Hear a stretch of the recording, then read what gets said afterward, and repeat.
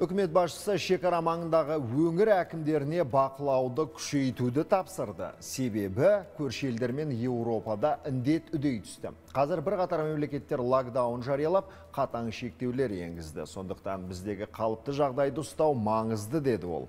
Соңғы мәліметтерге сүйенсек, еліміздегі науқас саны 2,5 мың есе азайған, сондай-ақ күні кеше ғана барлық өңірде қайта вакциналау науқаны басталды.